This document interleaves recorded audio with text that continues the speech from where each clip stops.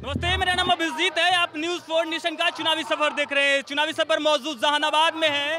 जहानाबाद में सातवें चरण में वोटिंग होनी है। इससे पहले नामांकन की प्रक्रिया जो है वो शुरू हो चुकी है। आज जहानाबाद के पूर्व सांसद डॉक्टर अरुण कुमार जो है मायावती के हाथ, यानी भारत बसपा की तरफ़ से आज प्रत्याशी बनकर जहानाबाद से लोकसभा चुनाव में आज नामांकन दाखिल करने पहुँचे थे। आपको बता दें, डॉक्टर अरुण कुमार हज़ारों की तादाद में अपने समर्थकों के साथ जहानाबाद के समाहरणालय में नामांकन दाखिल करने पहुँचे थे।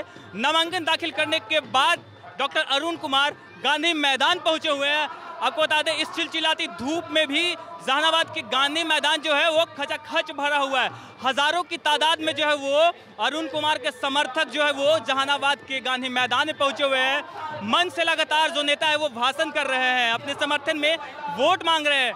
डॉक्टर अरुण कुमार भी मंच पे मौजूद है। उन्होंने बड़ी सभा को संबोधित करते हुए अपने समर्थन में जो है, वो लोगों से वोट की अपील की है। उन्होंने बिना नाम लिए जहानाबाद के वर्तमान सांसद डॉक्टर चंदेश्वर चंद्रवंशी पर बड़ा हमला बोला है। उन्होंने एंबुलेंस को लेकर, भ्रष्टाचार चार पर जो है वो वर्तमान सांसद चंद्रेश्वर चंद्रवंशी पर बड़ा हमला बोला है। साथ ही राजद उम्मीदवार सुरेंद्र प्रसाद यादव का पर भी बिना नाम लिए हमला बोला। उन्होंने कहा कि ये वही उम्मीदवार है जो जहानाबाद का सांसद रहते सदन में जो महिला बिल का जिस तरीके से विरोध किया था, ये महिला विरोधी है।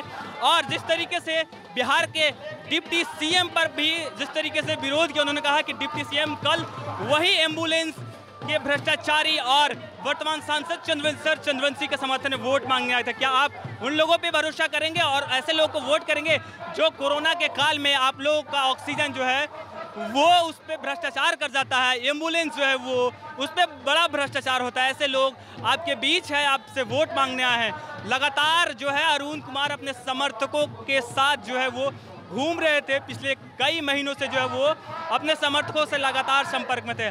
आज उन्होंने बड़ी सभा को संबोधित किया है और इसके साथ ही उन्होंने अपने समर्थकों के बीच जो है वो नामांकन दाखिल किया है। नामांकन में जो समर्थक थे, ढोल, बाजे के साथ कई घोड़ा मौजूद था।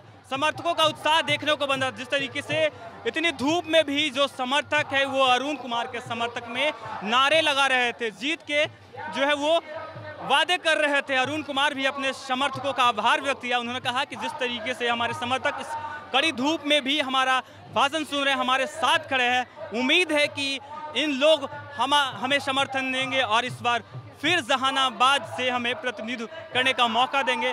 हम लगातार जहानाबाद का चौमुखी विकास किए हैं और आगे भी करते रहेंगे। उन्होंने बहन महा मायावती का ज़िक्र करते हुए आभार प्रकट किया। उन्होंने कहा कि बहन मायावती ने हम पे भरोसा जताया है।